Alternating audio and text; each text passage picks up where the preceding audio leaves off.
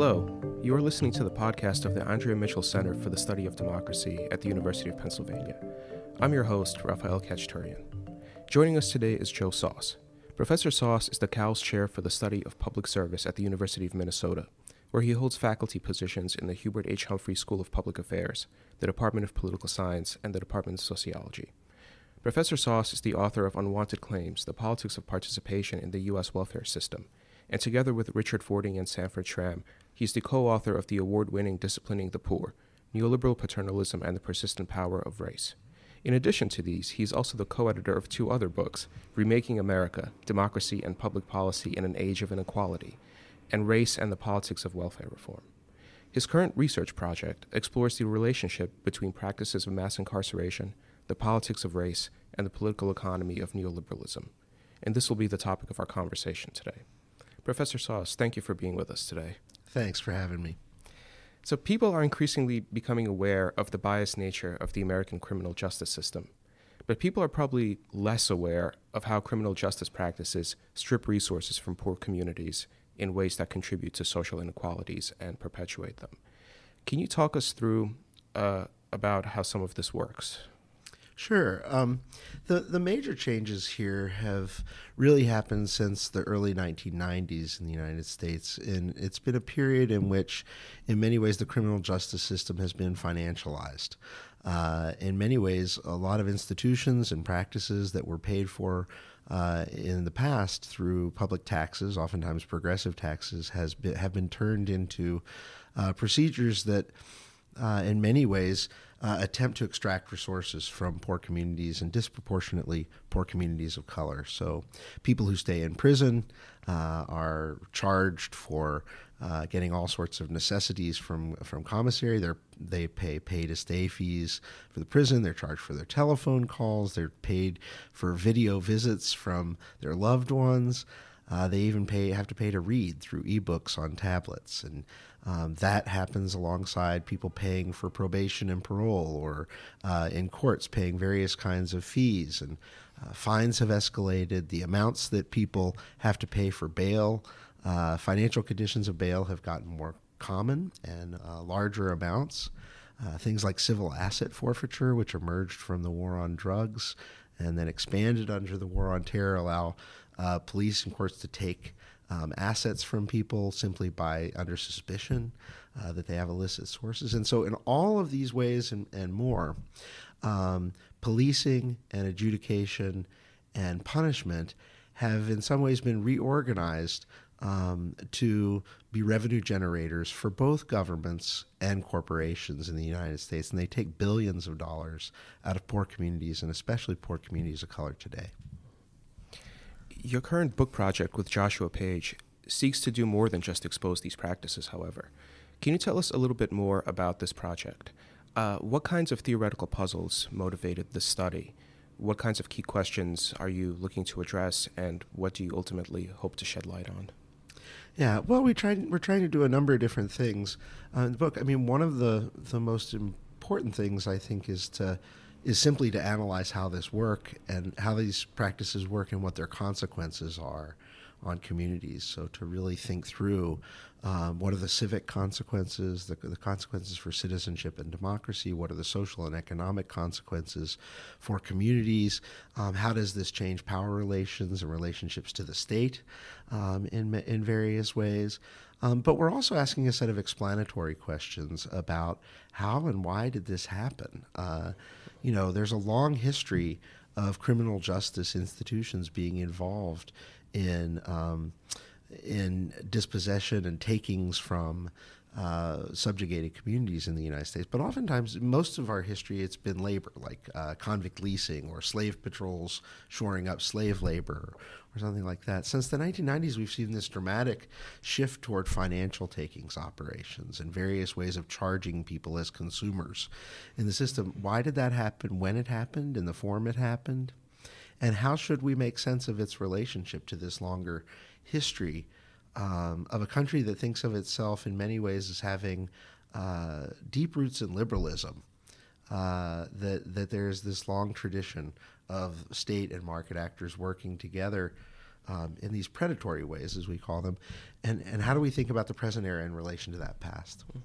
And on that note, you emphasize that financial takings in the criminal justice field need to be seen as one component of a broader structural and systemic account of the transformation of the American political economy um, as it underwent this process of neoliberalization. Uh, can we talk a little bit about what you mean by neoliberalism, uh, how criminal justice practices that you look at fit into this broader neoliberal turn in political economy, and then in what ways they might be related to uh, trends of capital accumulation that target poor communities, such as subprime mortgages and payday lending, alongside bail practices? Sure. Um, you know, the term neoliberalism is a contested term.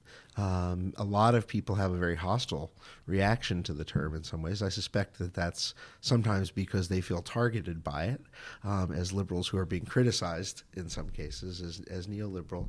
Um, but, uh, you know, some of the things that people complain about with neoliberalism just simply strike me as, as unfair. For example, um, neoliberalism is defined in many different ways. Um, but why is that a bad thing? Uh, if you look at most really core concepts that matter a great deal uh, for social and political analysis, they're defined in different ways. Democracy is a contested concept in very fruitful ways. Power is a very contested concept. The state is a very contested concept. And so, um, you know, I see that as potentially a strength rather than a weakness. It doesn't mean that people don't know what they're talking about. It means they have different visions of what this thing is, just like different visions of democracy. Um, the way we approach neoliberalism uh, in many ways um, is that neoliberalism involves, uh, at one level, a kind of extension of market logics and rationalities to different um, different spheres of life, but in particular, in our case, in, we're interested in the marketization of the state um, and the changing of relationships between state and citizens, such that citizens are understood as consumers and the state is oftentimes understood as a producer um, in various ways. Um, but and, and part of that is this notion of sort of the, the shifting away from the countervailing state, the state that that in a sense countervails market power, and instead this emphasis on a kind of blurring of the boundaries between state and market, so that uh, corporations are increasingly seen as partners of the state eh, through public-private partnerships, but also corporations are increasingly seen as citizens um, and, and have the rights of citizens and are treated as such, uh, and are seen as sort of uh, serving in a public-spirited way. Um, various ways. And, and so part of, uh, as that has happened, that sort of blurring of the boundaries between state and market, we've had, um, if we talk about the marketization, we have to ask what kind of market it is. And this has happened at a time in which markets have financialized. Mm-hmm. Um, and so financialization um, and privatization uh, and marketization are the main processes that we're sort of looking at in this project, along with a fourth, which is securitization. Mm-hmm. Um, the sort of turn uh, away from the welfare state uh, and the kind of state protections against life uh, risks that the welfare state focuses on toward um, the kind of threats, internal and external, that call for uh, policing and military and carceral apparatuses. And one of the most distinct aspects of this project, on that note, is that you are advancing what you call a predation frame for thinking about the state or public power. Uh, I'm interested in hearing you say a little bit more about um, how this framework tells us about how the state operates, particularly in relationship to liberal and contractarian views of the state um, and its responsibilities. Yeah. So when most people think about criminal justice financial takings of the sort that we're talking about, um, they think about it in terms of monetary sanctions or the criminalization of poverty. Um, oftentimes, uh, addressing it through a punishment frame. The idea that these are uh, ways in which poor people are punished for being poor, or uh, they're simply a reflection of you know higher fines because uh, of this punitive culture that we have, um, or the push to, to get tough on crime. And there's some truth to that, um, I think. But but our point in talking about this in terms of predation is to really connect it in many ways on one side to the longer history of dispossession in this country and the way in which um, the liberal state and um, the liberals liberal uh, democracy and citizenship have always been underwritten through various forms of uh, expropriation, uh, taking of lands and the taking of labor, um, and and how there's this intimate relationship, uh, and in many ways co-constitutive relationship between uh, the oppression of some and the uplifting of others and incorporation through various kinds of liberal and democratic equalities. So we want to make that um, connection there and, and show how this is a form of predation that is distinctive to our historical moment, but follows in this long history. On the other hand, we also want to connect it to something you mentioned in the last question that I didn't get to, which is that this form of predation in the criminal justice field has emerged in a period of uh, a great sort of flowering of various predatory business models in many of the same communities mm-hmm. uh, that are being targeted by criminal justice predation. Uh, the payday lenders, uh, you know, that that uh, sort of cultivate debt and payment.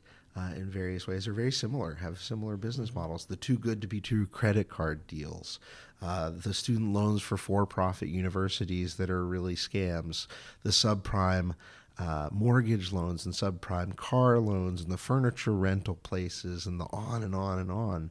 When people go into court and find their legal financial obligations escalating as debts that they can't pay, and they're in jail and they find that they only have predatory options in the bail industry for getting out, that's not a foreign experience for most people um, who are in that position. They've experienced that in their communities. Um, watching debts pile up and only confronting predatory options is the nature of, of life today for many who are uh, down in the lower reaches of the social order in some ways.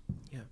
And I'm wondering then if we can talk also about a related question, which is the way that the predation framework you're articulating allows us to see how class, race, and gender actually intersect to create these mutually reinforcing structures of domination and exploitation. Uh, can you explain, for example, why bail institutions and practices are a particularly good site for illustrating the way that this this operates? Yeah. So, um, as part of this project, my co-author Josh Page uh, conducted a year and a half of ethnographic research, working at the front lines of the bail industry um, as a bail agent, and one of the things that we have written about, uh, a piece that we uh, published recently in the Russell Sage Foundation journal, RSF, um, is, is about the way in which uh, race and class and gender sort of work together to structure bail predation. So I think it's no surprise, probably to many, uh, that, that the people who are passing through uh, the criminal justice system and find themselves arrested and in jail and under charges and in need of bail services are disproportionately poor and people of color. Um, but what people have talked about less, I think, and what people are less aware of is how gender operates here. If anything, people think about gender in this context that they assume it's mainly men uh, who are in jail, and it is disproportionately uh, younger men of color uh, from poor neighborhoods. But what what people don't realize is that on the other side of that, that the financial burdens of of much of this system that I've described, this sort of predatory takings, that financial burden is disproportionately borne by women, and particularly women of color. Um, 83% of the adults who pay uh, for uh, prison costs for, for a prisoner are women. Um, the vast majority of people who sign off on bail agreements and are on the hook for those payments are women. And the question is why? And and part of the advantage of the ethnographic research is that we're able to see um, how it is that that bail agents on the ground um, make assumptions about who's likely to step up. Um, and take care of the, the bail agent of the of the person in jail, the defendant, um, by absorbing these costs. And in a sense, we argue the social organization of care, responsibilities, and roles along gender lines becomes the kind of structure um, that organizes predation in the bail industry. So uh, if Josh you know, had someone uh, who was going to be a new client who was in, they found out about a case, someone sitting in jail. First thing a supervisor would say to him is, Have you called the mom yet? Right? With the assumption that it's the mom, or in some cases, the auntie or the grandmother um, or sometimes a, woman as a romantic partner would would be the one who would step up and absorb the cost, take on the risk, um, and ultimately have their resources take them from, from them. So one of the things that's crucial to understand about criminal justice predation today is that it's financially centered and that the extraction is not really coming from the people who are arrested necessarily, um, or charged, or convicted, or in prison. They're being drained out of the networks of people around them, right? Mm-hmm. Many of whom have never have not been charged with any wrongdoing at all. Mm-hmm. And looking at bail practices also strikes me as a really productive and fascinating way of studying how political power on the local level, such as in counties and municipalities and so forth, adjusts in response to broader dynamics of political economy of the United States. Um, speaking in terms of the kind of budget crunch, for example, that a lot of these local governments underwent uh, since the 1990s. So, what would be the most important insights that we can gain by beginning with what is a nationwide problem of mass incarceration and then looking at the more granular, le- granular level of local institutions and practices and then moving back out towards a broader framework? Yeah, um, that's a big question, but I think that it's it's important to think about it in that way. That um, that what we're really dealing with here in the rise of financial predation in the criminal justice field um, is a set of is the sort of convergence of a set of developments um, that are much broader in the political economy and the way in which they sort of uh, Im- impress themselves as pressures um, at the local level and and how actors cope uh, under severe constraints, very strong pressures. Um, to try to deal with with the problem. So in in the United States, from the 1970s on, we had this tremendous process of devolution of responsibilities at the same time that revenues uh, were constrained for for local actors. Um, and so there were greater financial obligations at the local level, level combined with um, less ability to meet them. And the resulting austerity, in many ways, um, led to service cutbacks that were that were really severe for many kinds of social services that people rely on, and for schools and for all sorts of things. Mm-hmm. Um, but in the case of criminal justice, it was very hard to, to, to do that because people were pushing for a tougher and tougher um, approach to crime, and, and not just Republicans pushing for it as a as a racial wedge issue uh, to peel off disaffected white Democrats, but also Democrats wanting to prove that they weren't soft on crime, and so it was very little ability to stop this political juggernaut. Um, but that very juggernaut, in some ways, provided a basis for meeting these needs at the local levels. That at in the name of getting tough on criminals, you could raise mm-hmm. fines, and in the name of protecting public safety, you could impose higher bail amounts, and uh, in the name of uh, building new prisons, you could turn to private actors in various ways who came into the field, and and all these things. So so at the local level, you really see this coming together of forces that we oftentimes talk about in, in quite abstract and disembodied ways um, privatization, marketization of the mm-hmm. state, um, the sort of securitization woven through that financialization of all these processes. Mm-hmm. I mean, when you talk about something like marketization of the state and monetization and things like that, I mean, when you look at the local level, you get these things like um, there were local jails that were turning the bare walls of their cells into uh, something that could generate revenue by selling advertising space so that when you were put in the jail, you were locked up with a placard that had the number for one defense attorney and one bail mm-hmm. bond service. Mm-hmm. Right, and that's all you had in there. And so, I mean, literally looking for everything that they could find that they could convert because they were absolutely starved for revenues. Right, and so in many ways, um, it's important to recognize the local level as being its own level of scale and um, how it's positioned differently than other levels of scale and in relation to them. But it's also important to understand it as a kind of microcosm, a place where you can see these big forces that we theorize about and we think about and we talk about changing the political economy. It's where the rubber meets the road. Mm-hmm. Um, and you can really see practices being put in place in their name. Mm-hmm. And speaking of this dynamic between the local and the national, you know, the problem of mass incarceration has now increasingly moved to the forefront of, I think, national politics and conversation. So I'm curious to hear, um, while you were conducting this research, what were the most significant instances or the most memorable ones of political mobilization or movements or maybe litigation or even just public commentary that you've noticed has evolved surrounding this issue? And looking forward, what kinds of mobilization or social movements would it actually take to challenge and abolish these kinds of practices? Yeah, I think you know one of the things that um, is exciting about this area is that increasingly it's an area where there's a lot of political movement. Um, and where there have been some real victories recently. Um, so I think that we're a long way from from really confronting this. We're a long way from uh, from reversing these injustices in any way. And of course, as I've been trying to emphasize, there are injustices that are rooted in broader changes in the political economy. So we're not likely to completely undo, undo these things without much more radical changes in some ways. But that said, um, I think it's really important to, to see that uh, movements like uh, Black Lives Matter um, and uh, prison protest efforts like the prison labor strike in the pa- strikes in the past few years um, have really put these issues on their agenda, and I think uh, so. They're part of the disruptive protest um, kind of movements going on, and I think that there's a great deal of success that's been happening through litigation campaigns, uh, Supreme Court. Uh, decision in Timbs v. Indiana uh, that sort of that, that put a real uh, that, that, really struck a blow against civil asset forfeiture. Uh, there have been some bail reform efforts that have had some success, some efforts to curb uh, you know, charges to parents for juvenile detention. Uh, just this past week, California became the first state in the country to ban uh, private detention centers and prisons going forward, et cetera.